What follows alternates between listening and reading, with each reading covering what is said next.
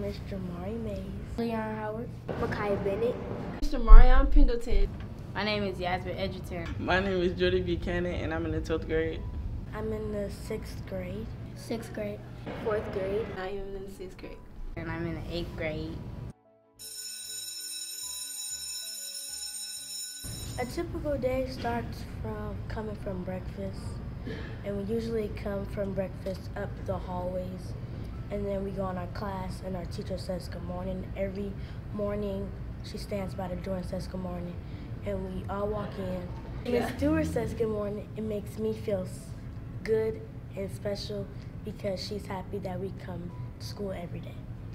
In the morning, I get my things ready to go to Gifted. I go to Gifted from 9 o'clock to 10 o'clock, and then I go to Spanish from 10 o'clock to 10.45, and then I go back to Gifted for math um, for 11 o'clock, from 11 o'clock to 11.30. And then I'm in Ms. Lane class for the rest of the day. I go to Gifted for reading. A day in my classroom, it's fun, it's interesting.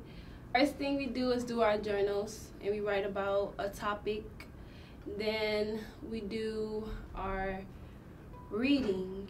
We read with the class so everybody can get an understanding. Then we do a little bit of math. Um, we do some social studies. And then we do science. Then we go to lunch. Then we do we repeat the process so we can go over the, the things we didn't do and the things we learning. At 2.30, we go to our special. So that's what we be doing. So in the morning, I go to band first period.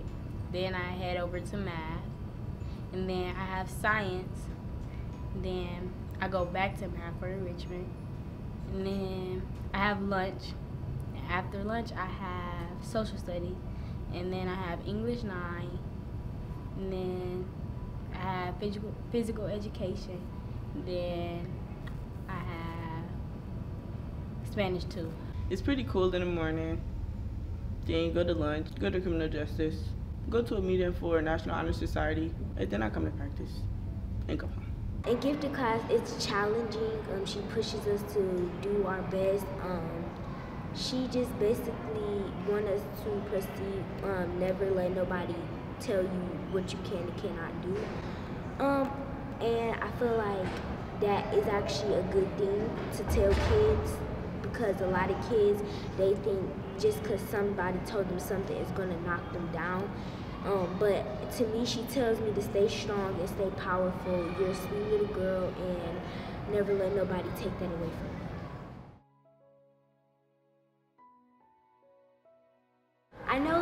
A 20 day cycle is basically what you've been learning about for the past 20 days. To see how far we've grown.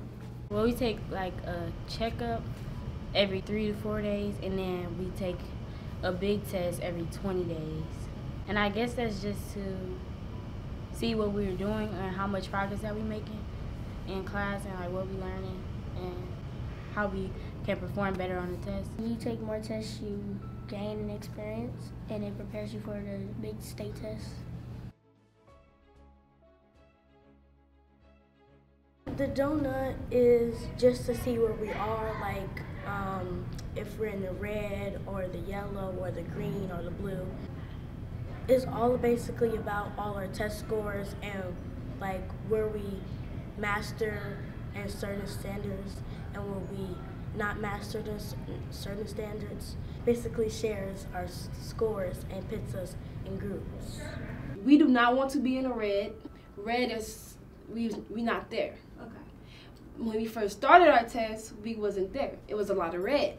Green is good.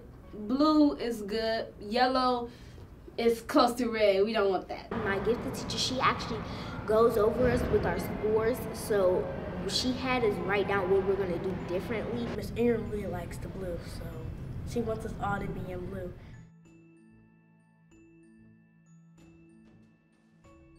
I feel like it's really a good school. Like we do a lot here. We learn a lot, and I like it. It's a good school to be at.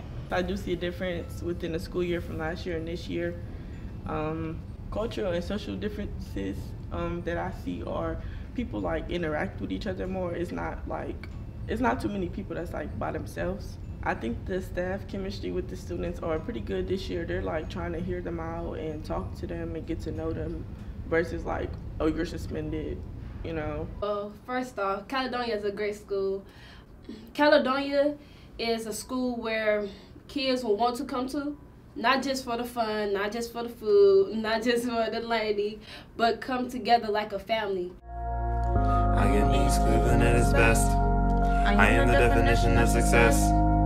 I am East Cleveland at its best.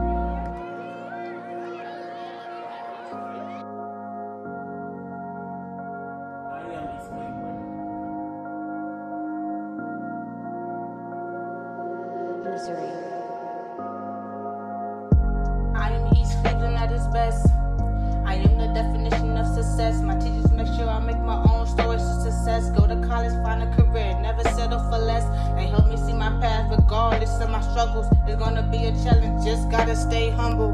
Humble, don't stumble. Keep my dream tight and don't fumble. I get all the support I need to make sure I am emotionally, mentally, and academically cured of weakness, of all meekness, of all bleakness. 100% of who I am and not pieces.